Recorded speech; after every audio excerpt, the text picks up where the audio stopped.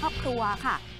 เป็นบทเพลงนะคะพังร็อกค่ะพเดจงไรนะคะ ก็พูดถึงการใช้ความรุนแรง การขาดความรับผิดชอบของผู้ชายนะคะ ในครอบครัว เป็นผลงานการเขียนเนื้อร้องค่ะของนักร้องเจ้าของสมญาราชินีพังกัมพูชาก็คือโสจิตราวาเท เขียนขึ้นจากประสบการณ์นะ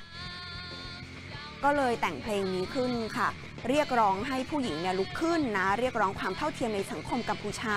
ซึ่งกำลังมีปัญหาความรุนแรงต่อสตรี ผลสำรวจจากองค์การสหประชาชาตินะคะ พบด้วยว่าหนึ่งในห้าของผู้ชายกัมพูชา เคยกระทำความรุนแรงหรือขืนใจหญิงสาวด้วยค่ะ ดนตรีนะคะหนักๆค่ะ เนื้อหาก็ตรงไปตรงมา เคยสร้างปัญหาให้เธอนะคะ ถูกวิจารณ์จากคนกัมพูชาไม่น้อยเลยเพราะส่วนหนึ่งค่ะมองว่าการนำภาพลักษณ์ด้านลบของเพศชายมาพูดถึงในบทเพลงเนี่ยมองว่าเป็นเรื่องไม่สมควร และตามวัฒนธรรมกัมพูชาค่ะ ผู้หญิงก็ควรจะสุภาพเรียบร้อย แต่โซจิตราค่ะ เธอพยายามเปลี่ยนแปลงสังคม ซึ่งประสบปัญหาความยากจน ความรุนแรงในครอบครัว และความไม่เท่าเทียมระหว่างเพศ โดยใช้ดนตรีเป็นเครื่องมือนั่นเอง